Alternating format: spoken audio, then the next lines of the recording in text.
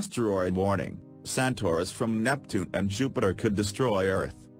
Asteroids trapped in the orbits of Jupiter and Neptune pose a direct threat to life on Earth and could end up destroying our planet, scientists have warned. An asteroid type known as Centaurs could one day destroy a life on Earth, or perhaps create a new life form altogether.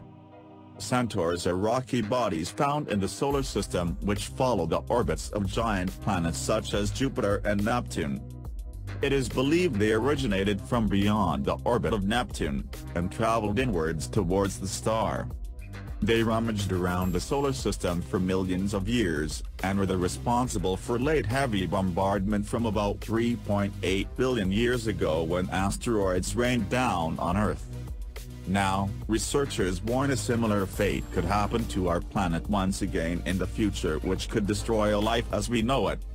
Astrophysicist Rudolf Dvorak from the University of Vienna said, such events could have a direct impact of life by either destroying Earth, or creating conducive conditions, hydrothermal activity, for new life to form.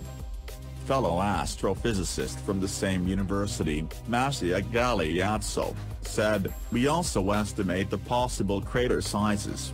Centaurs can become also active comets, because of the presence of water on a good number of them, thus we also compute the approximate amount of water released to the Earth, which is comparable to the amount of water present on the Adriatic Sea. Now, we also found subregions of the centaurs where the possible impactors originate from. The experts estimate the craters caused by the centaurs could be hundreds of kilometers in diameter. However, the presently known batch of centaurs would likely cause a crater about 10 kilometers in diameter. To put that into perspective, the Chicxulub crater, which resulted from the asteroid which wiped out the dinosaurs, is about 150 kilometers in diameter. This would mean any currently known centaur would likely not be able to destroy Earth, but this does not mean that they are not out there.